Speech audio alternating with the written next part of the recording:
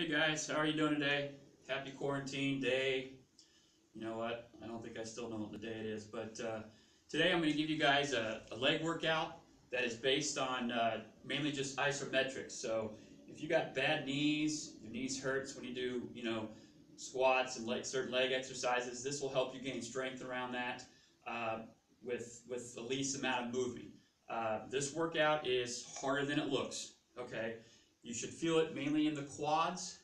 If you feel it in the knees, uh, just you know practice your position and make sure you're in the right position. But this is an isometric leg workout, so you can follow along with me, and then I'll show you what else to do. Okay. First one we're gonna do, we're gonna do wiggles. Okay. We're gonna start with our feet together. We're gonna slightly bend down, and we can have our hands right about right here on our thighs. Okay. The first movement's gonna be forward, so we're gonna go like this. We're just gonna go one, two. Next movement is to the right twice. One, two. Next movement is to the left twice. One, two. Then we're going to circle going to the right twice. One, two. To the left twice. One, two. Then we're going to figure eight once to the right. And then once to the left. Okay? Then we go a little bit lower and we repeat. Two forward. One, two. To the right twice. One, two. To the left twice. One, two, circle right twice, one, two, circle left twice, one, two, figure eight to the right once, figure eight to the left once. Third time, a little bit lower, put your hands on your knees now, okay, and forward, one, two, right, twice, left twice, circle right twice, circle left twice, figure eight to the right once, figure eight to the left once, and relax. You should feel a burn right in through here. Now, for those of you with not the best balance in the world, maybe do it on a chair, holding on, okay, with the different positionings, okay? Same thing applies. Just don't get too much of the hips and all that going. Just moving the knees forward, right twice, and all that, so hold on to a chair, okay? Next up, we're going to do sumos. All right, so we're going to get the sumo stance out like this. We're going to put our hands on the outside. We're going to squeeze for five seconds. Push in with your hands, out with the legs, knees, and go. One, two, three, four, and five. Relax.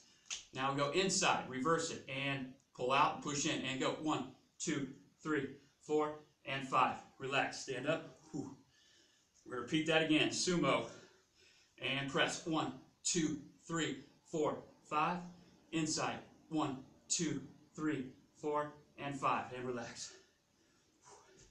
All right, one more time. And press. One, two, three, four, and five. Inside. And one, two, three, four, and five. Good. And relax. Okay, next up is accordions. Okay? We're going to go shoulder width apart, a little bit narrower. We're going to squat down. Okay? I don't want you. If you can go all the way down, that's fine too. But let's just start up here, hands right here, and then we're gonna accordion our feet out, back and forth, and then back in. Let me get that positioning this way. There's one time. Let's do it again. Accordion out, and then accordion in. Come on up. Now let's do it one more time for a third time. But I'm going to show you doing it with the chair. So we can easily hold the chair and then squat down and accordion in and out. Back and forth three total times and then rest. Last one, I want you to get either a towel or a couple towels or paper towels and we're going to turn it sideways and we're going to put it between our legs like so. Squat down as low as you can, and you're going to act like you're skiing. But you're going to squeeze this together. You're just going to hold isometric for a 10 count. One, two, three, four, five, six, seven, eight, nine, and 10. Relax. Let's do that one more time. I'll add in the chair so you can hold on to a chair. Okay, we're going to squat down, skiing position like this, and squeeze. One, two, three, four, five, six, seven, eight, nine, and 10. And relax.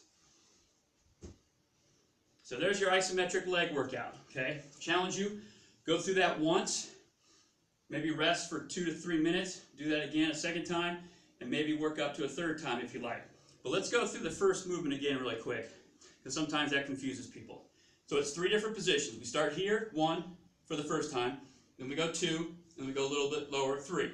Okay? So the movements is two forward, two to the right, two to the left, circle right twice, circle left twice, figure eight once going to the right, figure eight once going to the left.